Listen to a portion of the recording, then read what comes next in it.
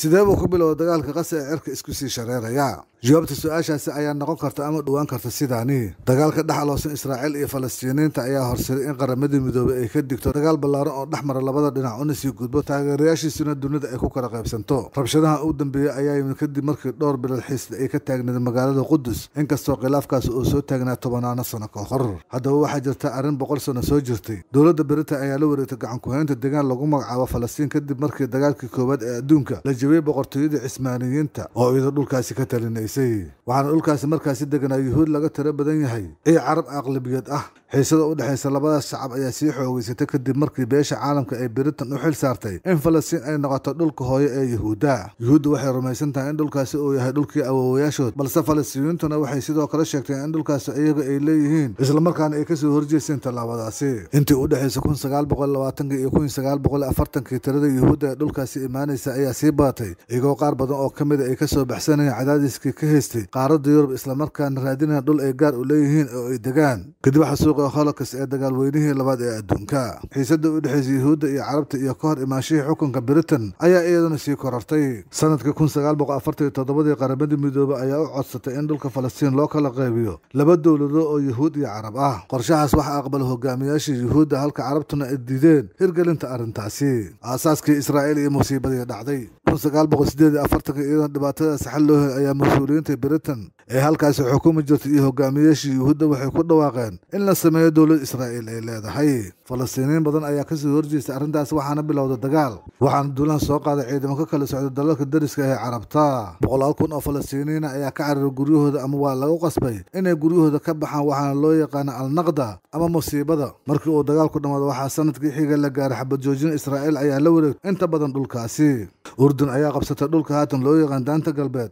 Halka masarna ay qabsatay marinka khaza qudus ayaa u qaybsantay laba qaybood ciidamada israa'iil oo qabsada galbeedka iyo ciidamada urdun oo qabsada bariga. Maadaama aysan labada dhinac weligood heshiis gaareen dhinac kasta dhinaca kale ayuu eeda dusha uga tuuray. Mana jirin wax dagaalaha oo dhacay sannadkii xigay. Dagaal kale ayaa bilowday sannadkii kun sagaal boqol toddobiyo lixdankii. Israa'iil ayaa qabsatay bariga qudus daanta galbeed buuraha golan hightis ee suuriya qasa iyo gacanka sinai ee masar. Waxaana dagaalkaasi loo bixiyay dagaalkii lixda maalmood. Inta badan qaxootigii reer falastiin iyo carruurtii ay dhaleen ayaa ku nool khaza iyo daanta galbeed iyo sidoo kale dalalka dariska ee urdun suuriya iyo lubnaan. Qaxootigaas iyo carruurtii ay dhaleen looma ogolaan inay guryahooda dib ugu laabtaan. Israa'iil ayaa ku andacoonaysa in arrintaasi ay khatar ku tahay jiritaanka iyo dowladda yuhuudda. Israa'iil ayaa weli haysatay daanta galbeed inkastoo ay ka baxday khaza qaramadii midoobe waxay weli u aragtaa dhulkaas. Qayb ka mid a dhulalka carabta laga heesto israa'iil ayaa sheeganaysa in magaalada qudus ay tahay caasimadooda.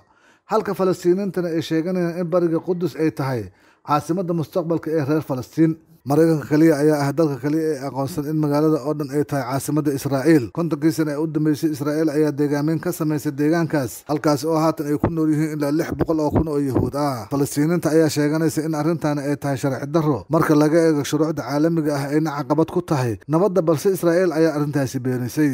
Xiisadaha u dhexeeya israa'iiliinta iyo falastiiniinta ku nool bariga qudus qasa iyo daanta galbeed ayaa inta badan aad u sarraysa qase ayaa waxaa xukuma ururka falastiiniinta ee xamaas kaasoo marar badan israa'iil ay dagaalameen. Israa'iil iyo masar ayaa xukuma xuduudaha qasa si ay u xakiimaan hubka soo gelaya halkaas si ururka xamaas uusan gacanta ugu dhigin.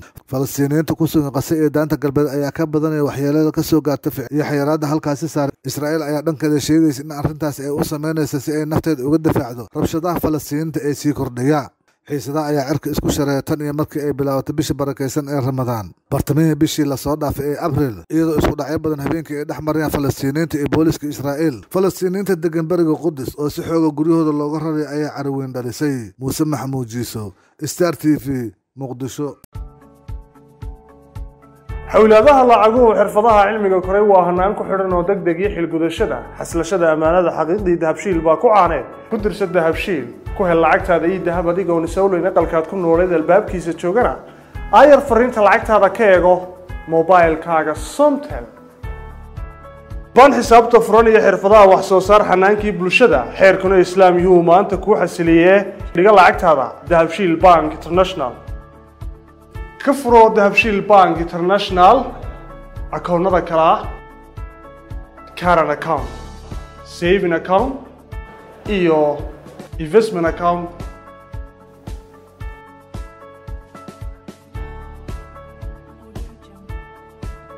Ku xidho akoonkaaga dahabshiil bank international adeega casriga ee edahab adigoo isticmaalaya mobilekaaga somtel. Waxaad adeega edahab lacag ugu diri kartaa akoonkaaga lacagna lagaga soo diri karo.